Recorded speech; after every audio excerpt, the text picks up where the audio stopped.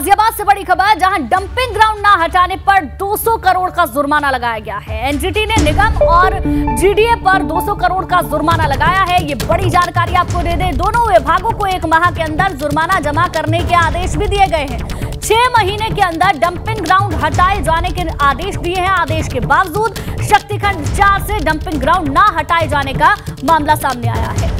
तो देखिए dumping ground न हटाने पर 200 करोड़ का जुर्माना लगा है और शक्ति फ़िलहाल इस खबर पर और ज़्यादा जानकारी के लिए हमारे साथ जुड़े हैं। शक्ति, क्या ये पूरा मामला था और क्या अब इस पर कार्रवाई की गई है? देखिए जिस तरह से निगम निगम की ज़िम्मेदारी बनती है कि कहीं भी कूड़ा सड़कों पर लाए जो आवासीय कॉलोनी है उनमें डंपिंग ग्राउंड ना बने। उसी को लेते हुए जो कुछ लोग ही शिकायत करता हुआ एनजीटी में गए थे और एनजीटी ने एनजीटी में जाने के बाद एनजीटी ने इसमें सख्त कदम उठाया है और जिसमें की दोनों विभाग यानी कि नगर निगम और जीडीए जीडीए पर पचास करोड़ और नगर निगम पर डेढ़ सौ करोड़। काफ़ी बड़ा ये जुर्माना अमाउंट है और जल्द से जल्द इसे जमा करने के भी आदेश सुनाए हैं।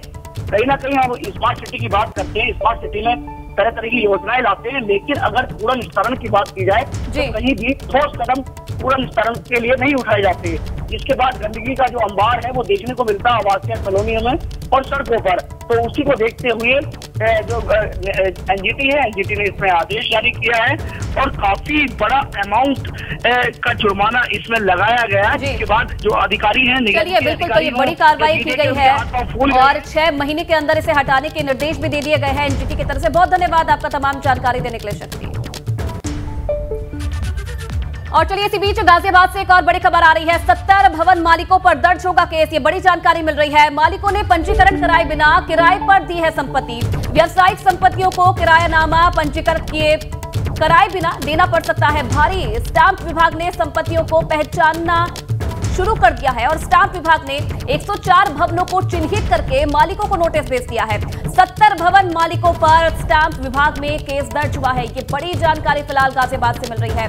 70 जो भवन मालिक है, उन पर मामला दर्ज किया है।